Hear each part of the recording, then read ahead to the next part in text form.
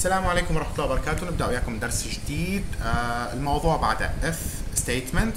آه درس اليوم هو 35 لو ناخذ مثال آخر لل if statement إحنا تعاملنا مع ال numbers الأرقام لكن اليوم راح نتعامل مع string.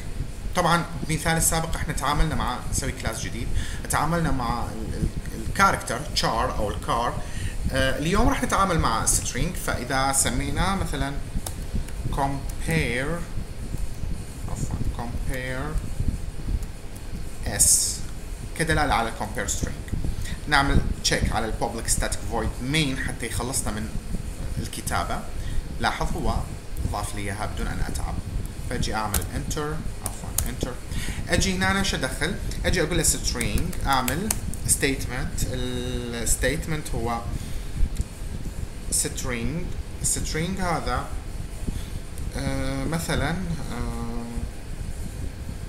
مش نكتب عليه. name وهذا ال name هو محمد. أجي هنا أعمل enter بعد ما أعمل enter أجي أستخدم if قلنا control tab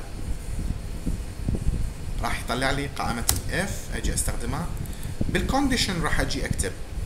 أكتب ال name يساوي يساوي محمد. إذا كان ال name هو يساوي محمد أي بمعنى هو مشابه equal okay؟ equality. نفس قيمة محمد.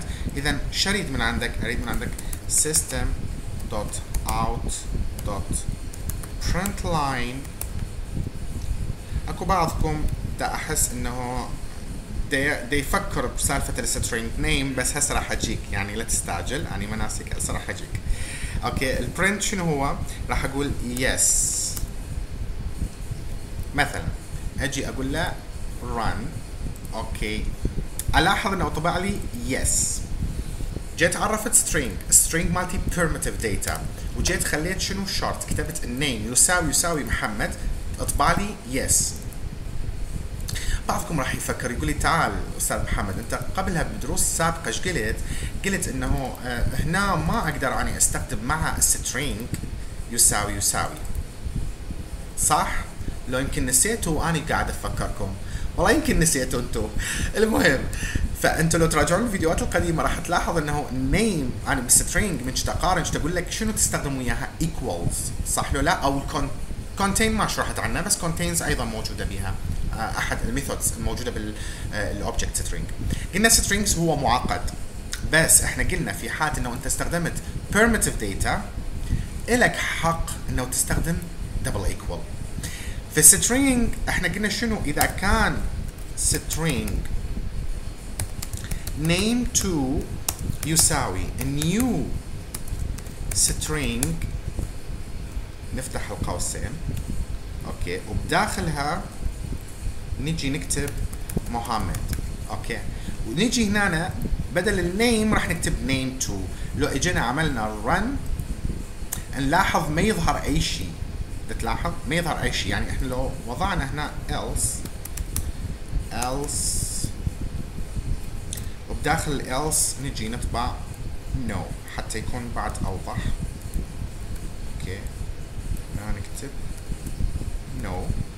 هاي شنو غير تحجون okay no no. فمن نجي نقول له okay نلاحظ طلع لي no.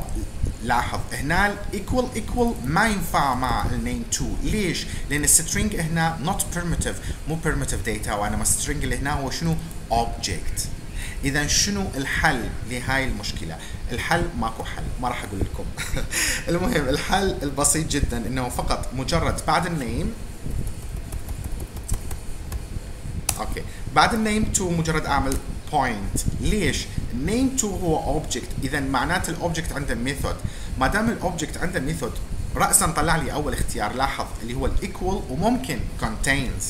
ال contains نجي له بعدين آه ناخذ فكرة عنه كيف نستخدمها أقول له equals داخل equals شو يقول لي خلي لي object okay؟ فأجي هنا أنا شو أسوي؟ أحط له محمد. أجي أعمل له run من جديد.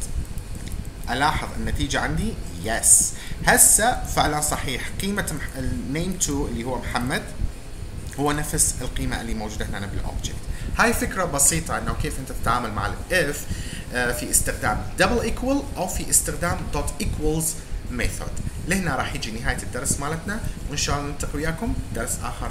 مع السلامة.